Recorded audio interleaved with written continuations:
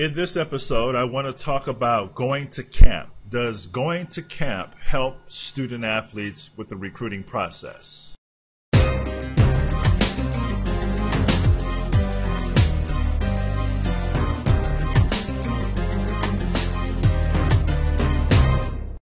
Hello, once again, this is Al Woods of Woods Recruiting, and I want to talk about camp.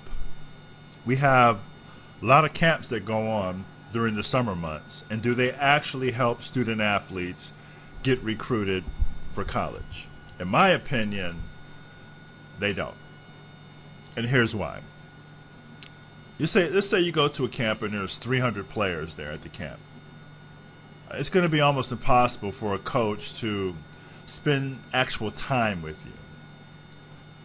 Individual attention, you know, from a college coach on their campus. I mean, you might get lucky, but with that many players, it's going to be kind of hard.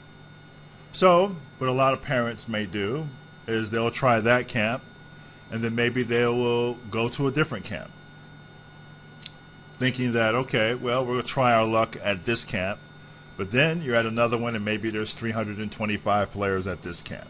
Wherever you go, there's going to be two, three, four hundred players at the camp, depending on the size of the school. And all the players are also thinking the same thing that if we go to camp, we're going to be seen by that coach who's going to work with us for X amount of days, and we may have a chance of catching their attention and them wanting to recruit us. And in reality, they're really not interested in you. By the time you get to camp, they've already got 25, 30 players that they're already interested in who are not even attendees of the camp. They already know who they want to recruit, they already know who they are targeting. On their recruiting board, they have a strong list of student athletes they're looking to get. Then they have a, a strong number two list and probably a number three, four, and five list. And I bet your name is not on that list. But you still go to camp anyway. And it's the same for for baseball camp, for for basketball camp. It's the same scenario. Now, I don't want to upset any college coaches because how they earn money for their athletic program is by having camps. But the other value, there is value to going to camps. And the value is you are actually working on your athletic ability. You're actually getting better. I mean, isn't that what it's about when you go to camp? Is to get better, to get better athletically. You want to get better. You know, you can't get better sitting at home doing nothing. You can't redefine your skills, your athletic skills. You know, how how good you are your skills. You can perfect your skills. You can perfect your talent. You're actually practicing under the instruction of college coaches who know how to coach. So they're going to coach you up on on different techniques to help you get better for your season. So use that for your season, for your high school football, basketball season, or whatever sport you play. Use what you learn to get better. But it, it's going to come down to, when it comes to recruiting, networking with college coaches and being able to network with college coaches a lot of times. Not just, hey, coach, I was at your camp back in July. You know, they're not going to know who you are. You might be the 1,000th player who attended their camps over the summer. But it does happen, though. It does happen where a player does capture the attention of a college coach at a camp, but the odds are pretty slim.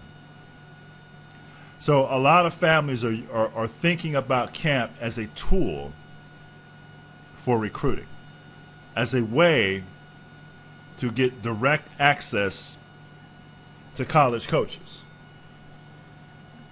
But I'm here to tell you it's a different strategy, a different strategy you're going to need you're going to need to develop relationships with college coaches over a long period of time so that they will take you seriously read your information, respond back to your information, and then where you can continue to send information knowing that your information will be read and that someone will reply back to you on what they have read or what they have seen or whatever the case may be.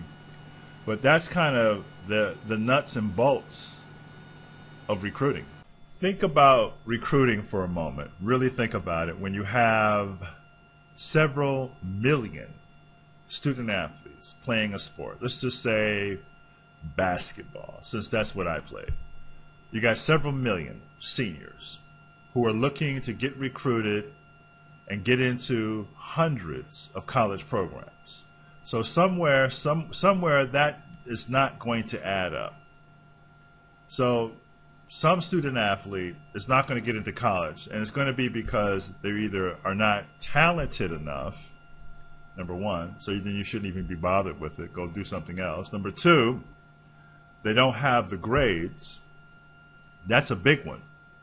Got a lot of talented kids out there, but they don't have the grades. And that is still to this day is a big, big issue. Why? Why, when you already know that if you don't have the grades, you're not getting into college? So that's a big, big problem, and that will rule out millions of athletes right there.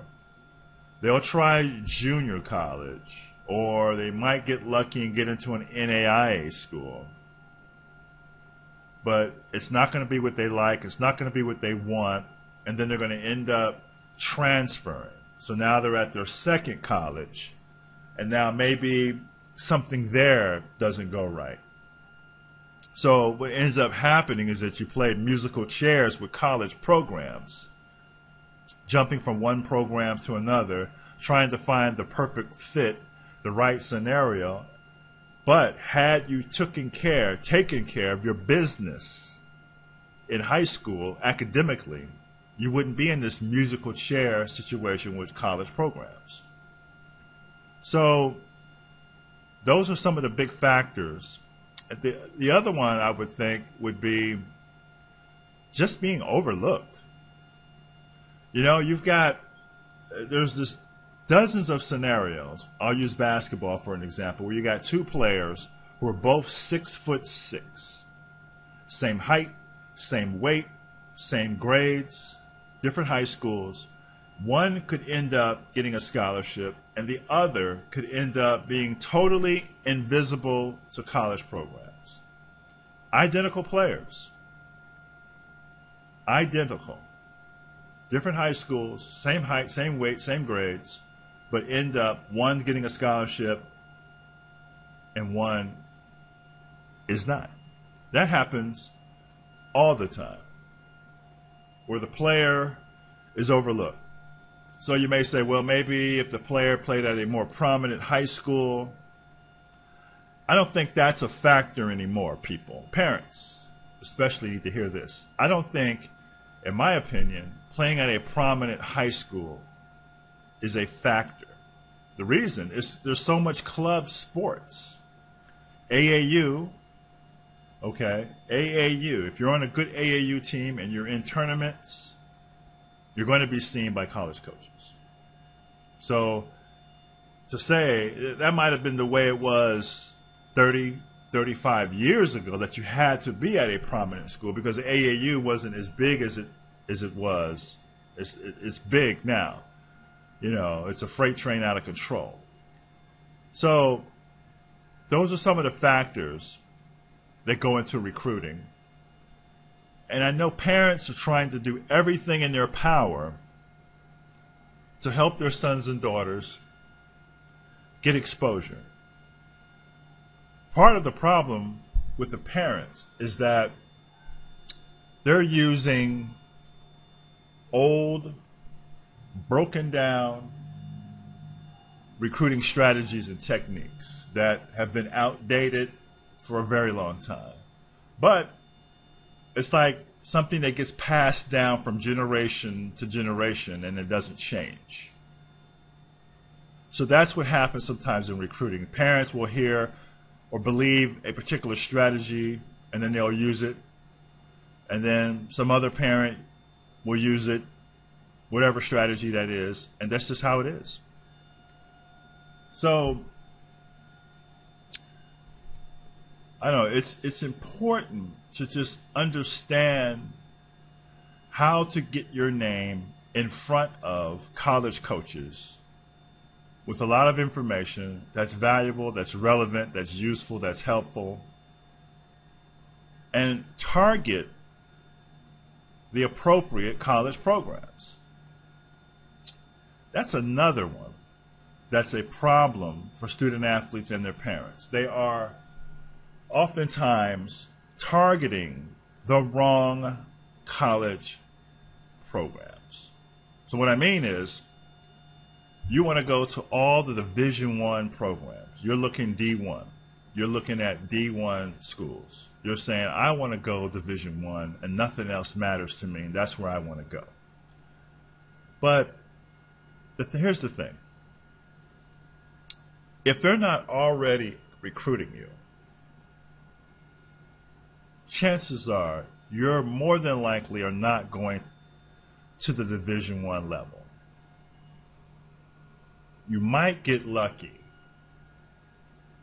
Keyword might with a small division 1 program. A small. Think of a small D1 program, something small. You might get lucky and, and get the attention of something on that level. But you need to select college programs based on what you can do athletically. Who have you competed against? And be realistic. Can you compete? Can you hold your own against the top talent on the club circuit? So now I'm off of basketball. On the club circuit, every high school sport has a club component.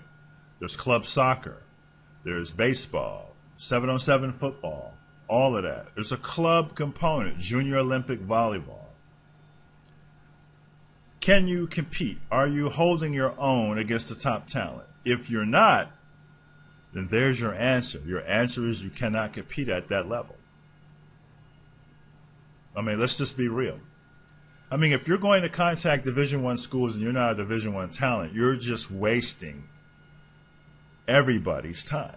Let's be real. Look for an opportunity. Now, now think about this too. I want to mention this, and we're going to wrap up this podcast. But you get a lot of players who who think about D1 every day, who dream about it, who that's they they they have this great passion that they want to play at that level, and then when they get there, they realize it is an incredible amount of work. It's going to be a huge, and I mean huge sacrifice on your time. And so a lot of those athletes will get to that level and then they can't cut it. They can't compete.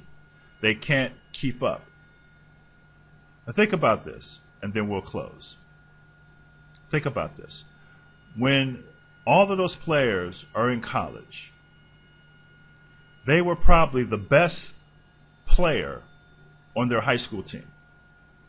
And so now they're all at this college. So you got all of these players who were the best. Something's not going to work out. The, the, the, level of competition is going to be a lot higher, stronger, faster than you were used to. So there's a lot of players who can't who can't do it. You know, when I was in college, there were several players who could not do it. They were doing it in practice, when the season started, they were like a deer in headlights. So my point is, find a college program where you're going to go to college, get an education, because that's why you're in college, and then go somewhere where you can play for the next four years. This is Al Woods. Thanks for listening to this podcast. Feel free to leave a comment in the comment section below if you agree or disagree with any of the points I made here in this podcast. I'd love to hear your thoughts. Let's debate the point in the comment section below. Share us on Facebook and Twitter and all of that good stuff. That would be very helpful. To spread the word about what I'm talking about in this podcast. This is Al Woods of Woods Recruiting. Thanks for listening, and I'll talk to you again real soon.